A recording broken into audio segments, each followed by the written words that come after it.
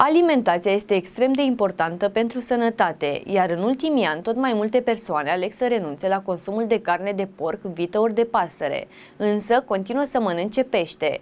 Dieta pescetariană, care se bucură de un succes în ultimii ani, este de fapt o dietă vegetariană reinventată, în care oamenii aleg să continue să mănânce pește.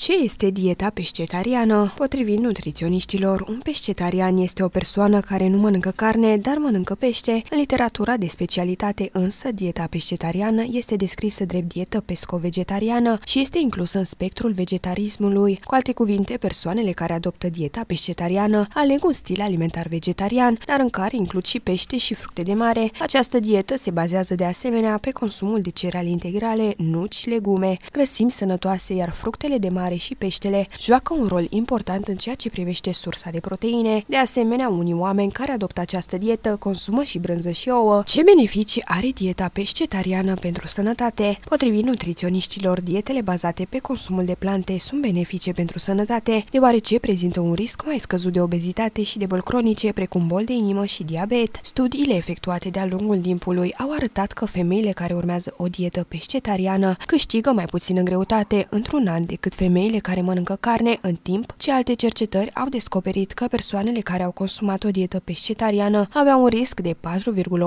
4,8% de a dezvolta diabet, comparativ cu un risc de diabet de 7,6% în rândul persoanelor care au inclus carnea în dieta lor. Peștele este bogat în acești grași omega-3, motiv pentru care persoanele care adoptă această dietă îi vor oferi organismului cantitatea de nutrienți necesară pentru a funcționa optim. În plus, aceasta conține și vitamina B12, zinc și sileniu, nutrienți care sunt regăsiți și în fructele de mare. Spre exemplu, doar o stridie conține 133 din doza zilnică indicată de vitamina B12 și 55% din doza zilnică de zinc și sileniu. De asemenea, midiile conțin nu doar vitamina B12, ci și sileniu, mangan și alte vitamine de tip B, relatează digilife.tv.